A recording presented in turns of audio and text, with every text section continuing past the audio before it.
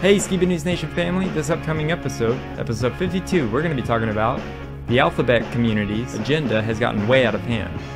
RFK Jr. exposes what's really in our water, the Biden family's corruption covered up by fake news propaganda, Simpsons predict submarine incident, Congress is now legitimizing shocking first-hand accounts of UFO sightings, UN rolls out new AI fact checkers, our friend Owen Benjamin on chemtrails, and a new variant in medical passports. An all new Opus Corner for history, we'll be talking about Charles Harrelson, the infamous hitman, and his famous son. And did Charles Harrelson have a CIA and JFK connection? Means and much more, so stay tuned.